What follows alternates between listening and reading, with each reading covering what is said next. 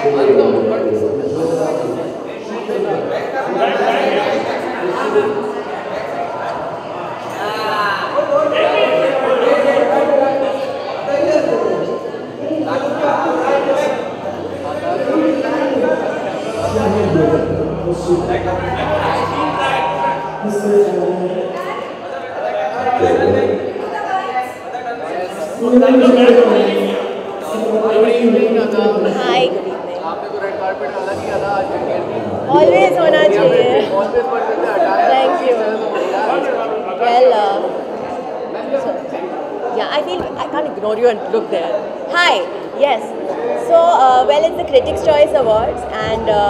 मैं अपने क्रिटिक्स को बहुत सीरियसली लेती हूँ। तो today I decided that I have some of the reviews written about me written on my clothes so so yeah I think red carpets are suppose to you suppose to have fun and uh, I've decided to. But I think you guys are my best critics. So what I'm going to do today, I think I should make a video with all of you and ask you what you think about what I'm wearing.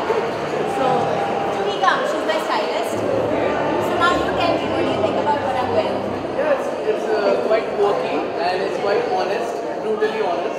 Yeah? Yeah. So you like it thumbs up or thumbs down? Thumbs up. Thumbs up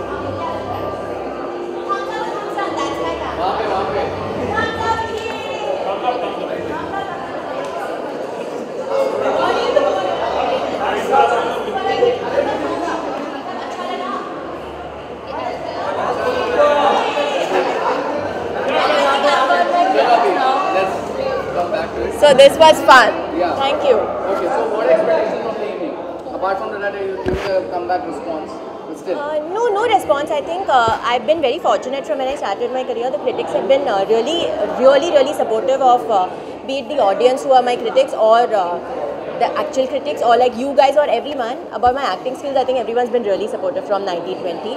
Uh, about my fashion, I think we get a 50-50. But uh, I think I enjoy it. I like to hear uh, the good, the bad and the ugly. So everything that's written on my outfit, uh, everything that's written on my outfit is uh, from reviews that have been written about me. I've not made this stuff up.